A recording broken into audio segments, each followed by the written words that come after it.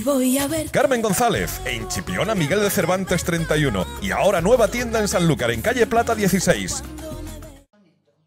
El Palacio Ducal de Medina Sidonia acogía ayer el arranque de las octavas jornadas de poesía en Palacio, homenaje a Rafael de Cózar, el hombre y su obra.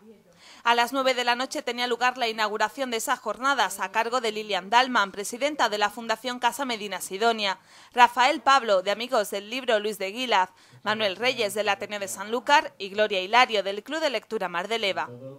A continuación se celebraba una mesa redonda bajo el nombre Rafael de Cózar, más allá de las palabras, en la que intervenían José Manuel Gil, profesor de Lengua y Literatura Española, Juan José Tellez, periodista, Ana Sofía Pérez, doctora en Filosofía Hispánica, y que fue moderada por el propio Manolo Reyes del Ateneo de Sanlúcar.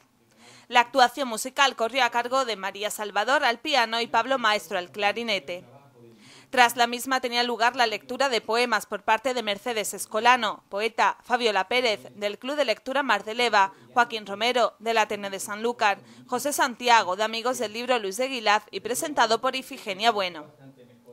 Hoy 8 de julio a las 9 de la noche arranca la segunda jornada con una mesa redonda bajo el título La poesía y las artes visuales en la experiencia vital de Rafael de Cózar.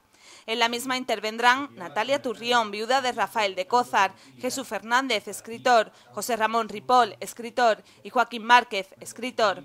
Moderado por Manuel Parodi, de Amigos del Libro y las Bibliotecas. La actuación musical corre a cuenta de Fernando Polavieja, cantautor.